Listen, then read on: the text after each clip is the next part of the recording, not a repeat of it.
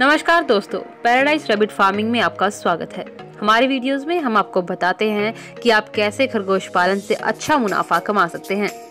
आज की वीडियो में हम बात करेंगे कि खरगोश पालन किसके लिए है और खरगोश पालन के क्या क्या लाभ हैं। तो चलिए शुरू करते हैं।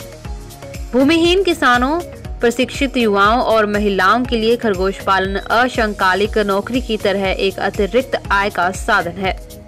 खरगोश पालन से कोई भी अपने परिवार के लिए उच्च गुणवत्ता वाला प्रोटीन युक्त मांस उपलब्ध कर सकता है। खरगोश को घर में आसानी से उपलब्ध पत्ते, बची हुई सब्ज़ियाँ और चने खिला सकते हैं। ब्रॉयलर खरगोश में वृद्धि दर अत्यधिक उच्च होती है। वे तीन महीने की उम्र में ही दो किलो के हो जाते हैं। खरगोश में लीटर साइज़ सबसे अधिक होती है।